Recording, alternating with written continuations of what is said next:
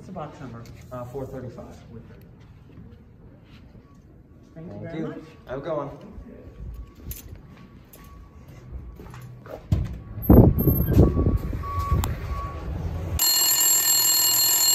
Hello?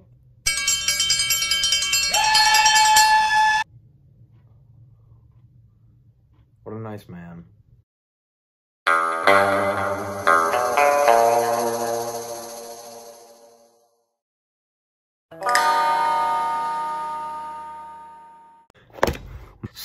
So, today I have a package.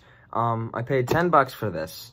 This is, I don't remember. Uh, oh, uh, yeah, um, I won't spoil it, but I bought this for 10 bucks and it got delayed in shipping. This was supposed to be here last week and it never came. So I have razor blade. We're gonna slice this open and we're gonna do a video on it because I haven't done like an unboxing or anything video in a while. So we're gonna And I don't know how this opens.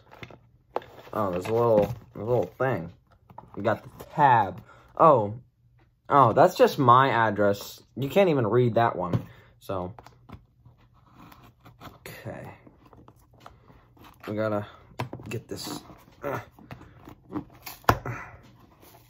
uh. I can't wait for the, I don't know. Ah, Freaking postal service. They really secured this. Oh, all right. We are in. Okay, so for some of you who are quite observant, you may be able to see something right off the bat. Um, oh. Okay, well, that's a bit of a bad sign already. This is a Ziploc bag, and that is a wheel and a screw. Oh, boy. Um, what have I gotten myself into this time?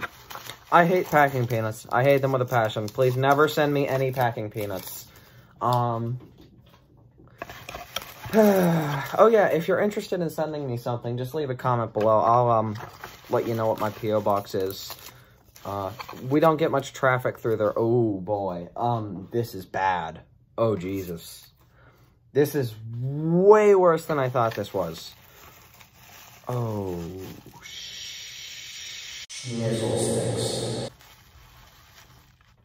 Oh my god. Oh, this thing is really busted.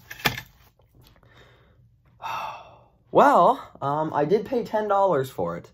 So, and here we are. I bought another Great Northern 080. This one, as you have already seen, is in awful condition. Uh, and I mean, that's kind of why I bought it. How does it have both handrails? Okay, out of everything that could be missing, it's missing everything from the tender. But to some miracle, both handrails are still here. Um, also, I could see somebody just kind of shoved a sh freaking Clementine cab on this, which is wonderful. Other than that, all the little detail... Oh. Oh, that's new. That's new. The entire shell might be a little warped. Ooh, I'm going to have to get some pictures. I'll throw some pictures up on the screen right now just so you guys can see this. Wow. Um, okay, but yeah, so there is a big warp in the shell. I don't know, because this, this was originally not supposed to be staying with me, but I don't know how my friend's going to react to this. But, uh, yeah, that is a, that's kind of bad. Uh, and I don't know if I have the correct pieces to replace that. And I don't think I'm going to even try to bend it back. Uh, yeah, this thing's a bit of a mess. I mean, it has both handrails, so I'm happy. So this might be a big of a bit of a, oh, he, include, wow, oh my god, okay, the tender shell is amazing. Most cosmetic pieces on this are great shape. That's what I'm most worried about. The motor and everything, that's no issue. I can deal with that. And the cab, I'm sure I can find one replacement. All right, so now that we've done the unboxing phase, let's get this up on the test track and see what happens. Okay, so we have it on the track, and we're gonna sit. We're gonna just throw power at this and just see what happens. I don't think anything's going to happen, but I have been surprised before. So, oh well. Oh, I heard something. Are you kidding me?